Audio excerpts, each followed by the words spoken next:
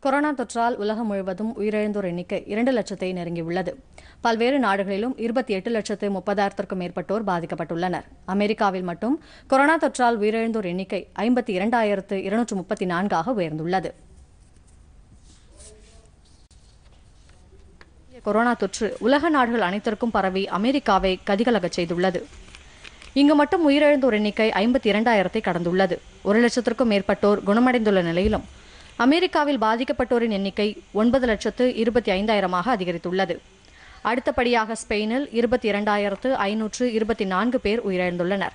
அங்கு இரண்டு லட்சத்து பத்தொன்பதாயிரத்து எழுநூற்று அறுபத்தி நான்கு பேர் பாதிக்கப்பட்டுள்ளனர்.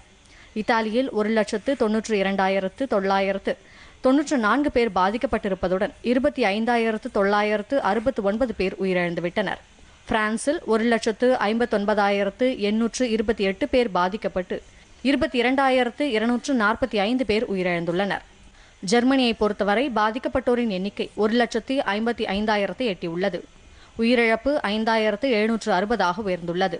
பிரிட்டனில் பத்தொன்பதாயிரத்து ஐநூற்று ஆறு பேர் உயிரிழந்துள்ளனர். ஒரு லட்சத்து நாற்பத்தி மூன்றாயிரத்து நானூற்று அறுபத்தி நான்கு பேர் பாதிக்கப்பட்டுள்ளனர். பிரிட்டன் பிரதமர் போரிஸ் ஜான்சன் கொரோனா தொற்று பாதிப்பிலிருந்து மீண்டுள்ளார். அவர் வரும் திங்கட்கிழமை முதல் வழக்கமான பணிகளை தொடங்குவார் என அந்நாட்டு அரசு அறிவித்துள்ளது.